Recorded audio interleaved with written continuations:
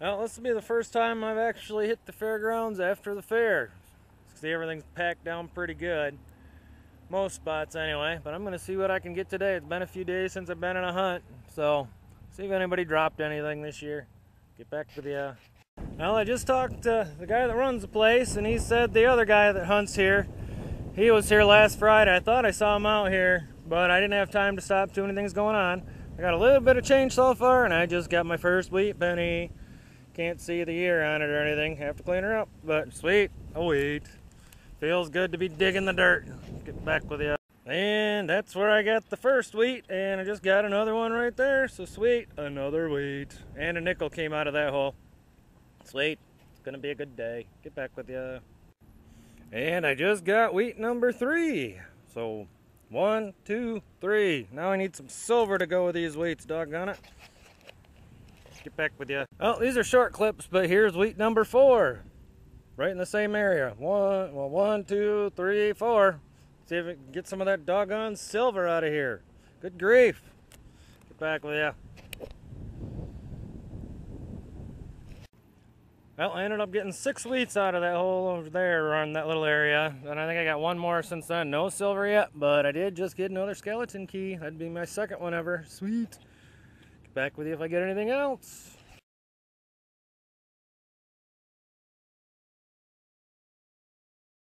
Well, I got a few more wheat pennies. I'm trying to work my way over here where it's all nice and packed down right now.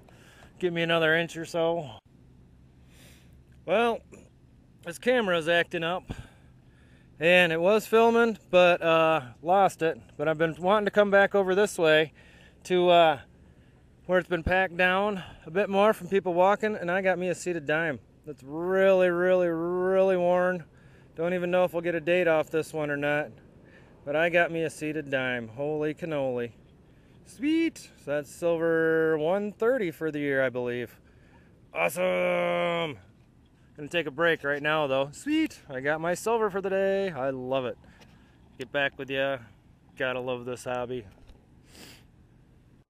Well, this was the day after the fair, and it was hot. I only played for about two hours, a little over two hours. But there's the garbage, a fresh light bulb, and uh, empty roll of quarters, doggone it. But a little bit of this, a little bit of that, and my seated, and I'm hoping I got part, at least part of me finding it the first time on camera. But this GoPro, I don't know if anybody else is having problems with them, but it uh, would start, it'd record, then it'd shut off. So I don't know what's going on with that. So that's why the episode, the next one was me talking again. And I was actually more bummed about the camera not working. So that was kind of a downer, especially finding a doggone seated. You probably won't get a date off this little girl, but I don't care. It's a seated. And I got a bunch of wheats in there. But I'll get everything cleaned up and let you know what I got.